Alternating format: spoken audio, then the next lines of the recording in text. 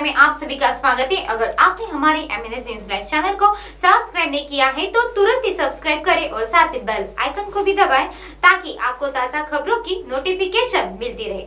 आइए देखते हैं आज की ताज़ा खबर। नागपुर कामठी में नेरी में मिले शव की हुई शिनाख्त।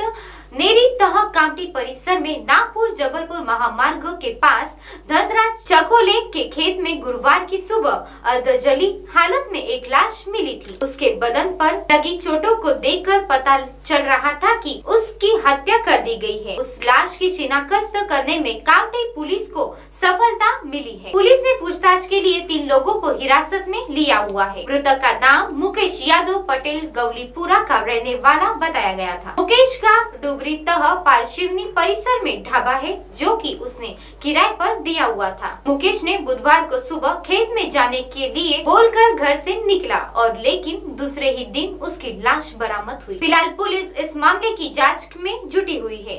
वहीं दूसरी खबर सामने आ रही है। नागपुर में पूर्व राष्ट्रपति प्रतिभा पाटिल 18 दिसंबर को शहर में। रात बारह बजकर तीस मिनट में पुणे से नगरागमन होगा। व स्थानीय कार्यक्रमों में हिस्सा लेगी। वहीं 20 दिसंबर को दोपहर बारह बजकर पचपन मिनट में विमान से पुणे के लिए रवाना हो वहीं तीसरी खबर सामने आ रही है। नागपुर में बैंक ऑफ़ महाराष्ट्र का रिटेल लोन एक्सपोस नौ को होगा।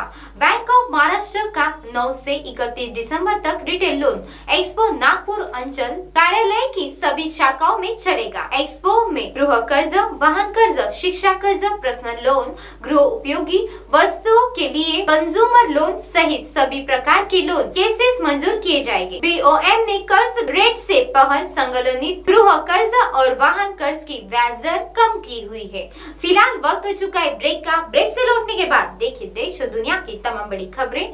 आप हमारे चैनल को ऐप पर भी देख सकते हैं। प्ले स्टोर में जाकर एमना सिंधी लिखे और ऐप डाउनलोड करें। साथ ही साथ आप हमारे फेसबुक पेज को भी लाइक कर सकते हैं और उन पर भी खबरें देख सकते हैं। Link Twitter Hike and Instagram पर भी आप हमारी खबरें देख सकते हैं। आप हमारे चैनल को यूट्यूब पर भी देख सकते हैं और इसे यूट्यूब पर सब्सक्राइब करना ना भूलें। तब तक के लिए बने रहिए एम न्यूज़ के साथ। मेरे साथ नमस्कार।